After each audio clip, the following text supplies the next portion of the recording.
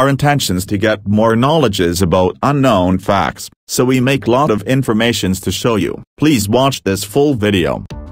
5 richest beggars in the world. Simon Wright. This man amassed so much wealth that the government banned him from begging. Simon Wright is a resident of London, who earned around 50,000 British pounds annually by begging. His modus operandi was to sit outside the NatWest Bank in Putney High Street, wearing ragged clothes, and holding a handwritten sign that states homeless and hungry. His appearance clearly showed that the man was in a bad situation, which attracted sympathy from passers-by. He did this continuously for three years until one fateful night. Constable Oliver had regularly noticed Simon begging outside the bank and sympathized with him.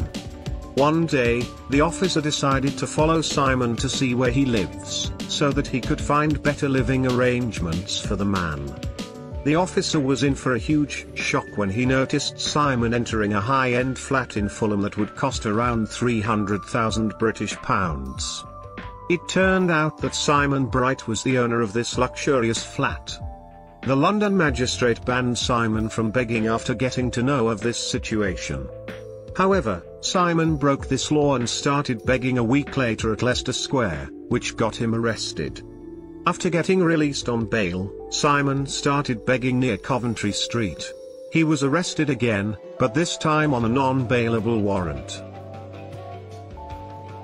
Bharat Jain Beggars are a common sight on the streets of Mumbai, India. But what no one would expect is to find a millionaire walking amongst them on the streets, begging. Bharat Jain is a rich man who earned a fortune simply by begging throughout his life. He's not only a millionaire but is among the richest beggars in the world. Bharat Jain begs for almost 8 to 10 hours every day, earning approximately 2,500 Indian rupees daily. When compared, this income is three times more than what an average Indian earns working. Along with this high income, he is also a business owner. Bharat Jain owns commercial space in Pandap, which he has given on rent. This space earns him 10,000 Indian rupees every month. Along with this, Bharat also owns two luxurious 1 BHK flats in Patel Nagar that each cost 80 lakh INR. Ever since the world got to know about his wealth, Bharat Jain has become something akin to a celebrity. You can usually see him begging around Chhatrapati Shivaji Terminus or Azad Maidan in Mumbai. Aisha. This lady could top the list of the richest beggars in the world. However, people were only made aware of her wealth after she passed away at the age of 100. Her childhood friend Saeedi was the one who informed the authorities of her fortune. A resident of Saudi Arabia, Aisha had been begging for around 50 years. After she passed away, her assets were valued at 1 million US dollars, which includes four residential buildings. Her mother and sister were also beggars and had managed to earn a fortune, which was inherited by Aisha after she passed away. All three used to get a lot of help from charities, especially during the occasion of Eid. Aisha was not only rich in wealth, but she also had a big heart. In the flats she owned, Aisha had let many poor families stay there without paying rent. In her will, she had also stated that after she passes away, she wanted her wealth to be distributed among the poor.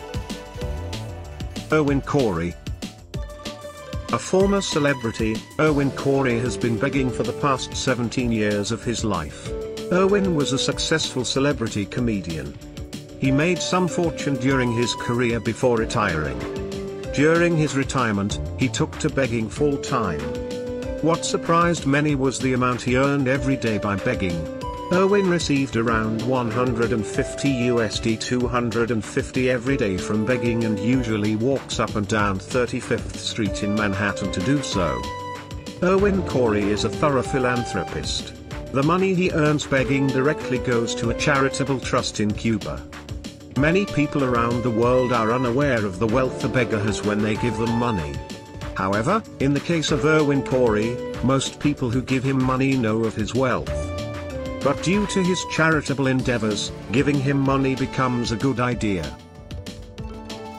Sampaji Kale When you think of beggars, it's usually a man or woman in ragged clothes sitting helplessly. However, for Sampaji Kale and his family, begging is a profession that all four of them pursue.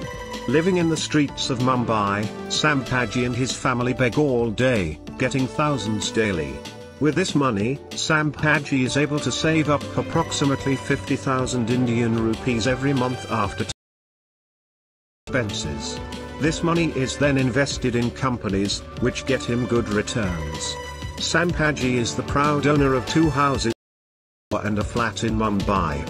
His investment which goes on to show that begging is not entirely a bad line of work.